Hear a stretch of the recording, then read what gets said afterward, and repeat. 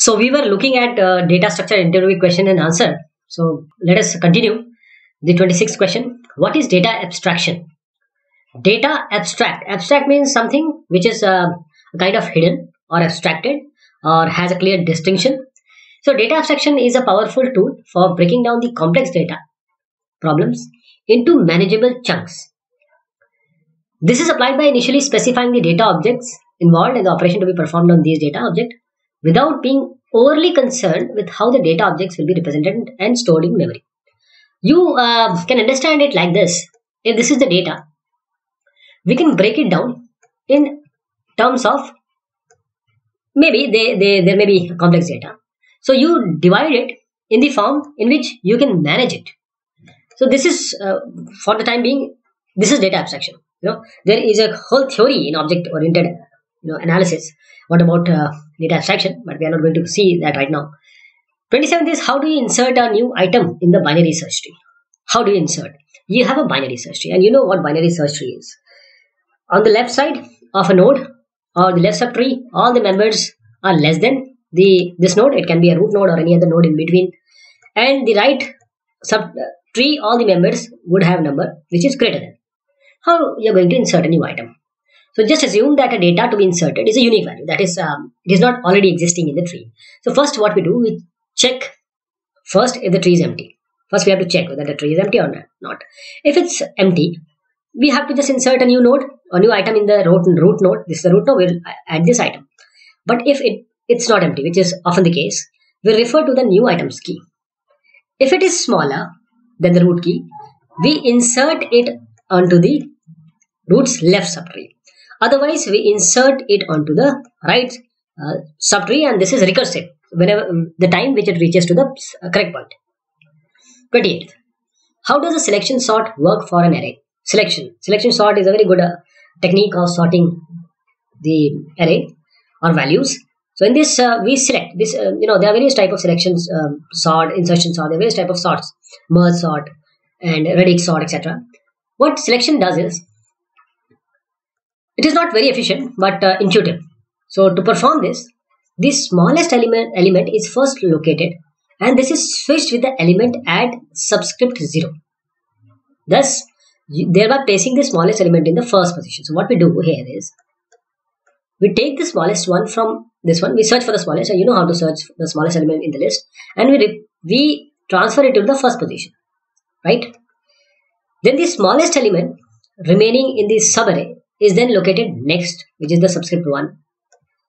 You have 1 to uh, n minus 1 value, so you select the next smallest one and you place it here.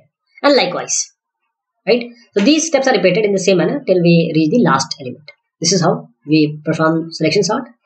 29th is how do signed and unsigned numbers affect memory. Signed and unsigned numbers affect memory. If you have a signed number, sign number means you have minus sign in front. You can have minus sign also. So both um, in this uh, just consider it to be a number list. Okay? This is zero. So you have values on the right side also you will have values on the left side side also. So if it is signed that there is a possibility of negative number also the first bit is used to indicate whether it is positive or negative which leaves you with one bit short because this bit will be used for the sign. While with this unsigned number what happens? You have all bits available for that number. So the effect is best seen in the numbering. For example if you have unsigned 8-bit number, it has a range 0 to 255. While the 8-bit signed number will have a range from minus 128 to 127. So here you can go up to 255, here, here you can go up to 127. 30 is what is the minimum number of nodes that a binary tree can have? Binary tree minimum number of nodes. Binary tree can have minimum, minimum of 0 nodes, null, which occurs when the node has a null value. So you don't even have any, you don't want any number. It is not, it is also possible to have a null value in one node and term it as a binary tree. And uh, you know that binary tree can also have one or two nodes. What are dynamic data structures? Dynamic data structures. These are the structures that are able to expand and contract as the program is running. So this provides a flexible means of manipulating data because it can adjust according to the size of the data. These are dynamic data structures like linked list. 32. In what data structures are pointers applied? In what data structures are pointers applied? Pointers that are used uh, these are used in linked list have various application in data structure okay where this is asking about the application so data structures that make use of this concept this are stack and queues and linked list and binary tree 33 is do all declaration statements result in a fixed reservation in memory right? Uh, most of the declaration they do they fix this reservation of memory but with the exemption of pointers. Pointer declaration does not allocate memory for data but for the address of the pointer variable not for the data but the address of the pointer variable. Actual memory allocation will only be done at the time of running so runtime allocation is there. What are arrays? We have known about arrays. These are the contiguous storage of certain values and these values are interrelated and they are of same data type.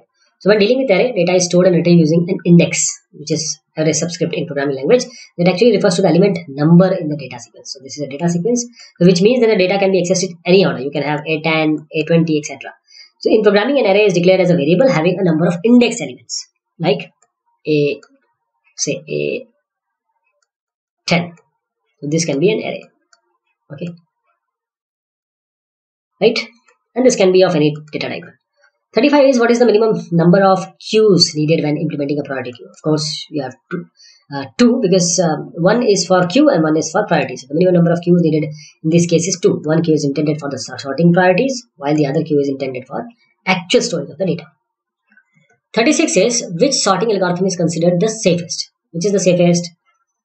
We have various sorting algorithms like quick sort, bubble sort, balloon sort, ready sort, merge sort, etc. Insertion sort, selection sort. So not all, not one can be considered as the fastest because each algorithm is designed for a particular data structure and data set. So it depends on the data set that you want you would want to store sort.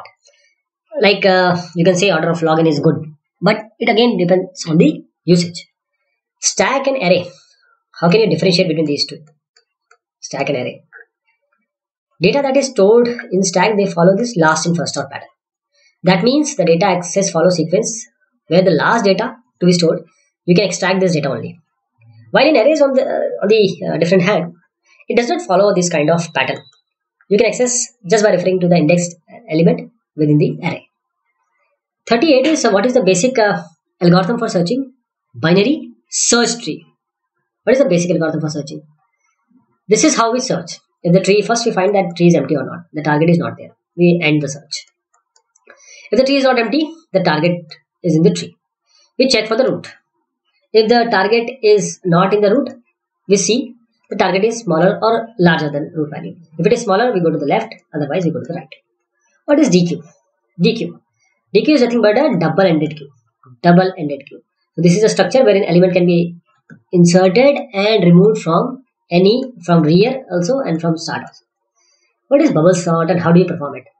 Bubble sort. The way bubble um, in the water, it comes or it it finds its path from the bottom to the up. Bottle this bubble sort is a sorting technique which can easily be applied to data structures such as array.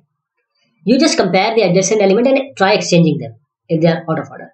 So this method lets the smallest value to bubble to the top of the list, while the larger value sinks to the bottom. What are the parts of linked list? What are the parts? It has two parts. One is the head, first of all, and the tail. The head has the um, the head and tail. They lie the actual nodes, with each node being linked to a sequential manner. And uh, you have a header which points or which contains the the address of the node and this node in uh, in inside contains the data and the address to the next node how does selection sort work selection sort uh, you know we have just seen that it works just by picking the smallest number from the list and placing it in the front we have seen the, seen a question like that just now so this process is repeated for the second position towards the end of the list and this is the simplest sort, what is a graph graph again it is a type of data structure that contains a set of ordered pairs. Graph has ordered pairs, two values. So these ordered pairs are also referred to as edges or arc like this. So these are edges and uh, are used to connect nodes. These are nodes. These are nodes that can be stored and retrieved. 44 is uh, differentiate linear from non-linear data structure. So linear data structure. This is a data structure where data elements are adjacent to each other. For example, you have arrays, linked lists, stacks, and queues. While the non-linear data structure is structured wherein each data element is connected to more than one adjacent element. For example, trees and graphs. So this is the difference between linear and non-linear data structure. What is an AVL tree? AVL tree. So this is essentially a binary tree only, binary search tree that has a special uh, balancing uh, equation means condition. So a balance is measured as a difference between the height of the subtrees from the root, subtrees from the root. So this self-balancing tree uh, was known as the first data structure to be designed as such, self-balancing tree. That is why AVL is so famous. Minus one or one one. If this difference goes to minus one or one, the tree will balance itself. What are doubly linked list? Doubly linked list. These are again special type of linked list uh, wherein traversal across the data elements can be done in both directions. Means these are these are the nodes of linked list you can travel like this you can travel like this so this is made possible by having two links because this will contain the address of the previous one and the address of the next one what is huffman's algorithm huffman's algorithm huffman algorithm is associated in creating extend, extended binary trees that has minimum weighted path length from the given weight huffman algorithm is associated in creating extended binary trees that has minimum weighted path length for the given weights. So what it does it, it makes use of a table that contains the frequency number of times of occurrence of each element. What is Fibonacci or Fibonacci search? This search is again a search algorithm that applies to a sorted array only. It also uses divide and conquer approach that can greatly reduce the time needed in order to reach the target element. Explain recursive algorithm. A function when it calls itself, it is a recursive algorithm. So recursive algorithm targets a problem by dividing it into smaller manageable, uh, manageable subparts or subproblems. The output of one recursion of after processing one subproblem becomes the input for the next recursive process. 50 is how do you search for a target key in a linked list? You know, this will follow a sequential search only. To find a target key in a linked list, you have to apply sequential, sequential search only. Each node needs to be traversed and compared with the target key, and if it is different, then follow the link to the next node. This trans or traverse will continue until the target tree is found or if the last node is achieved or reached. So these were our 50 top questions of uh, data structure. We'll be covering more. Thank you so much. Take care.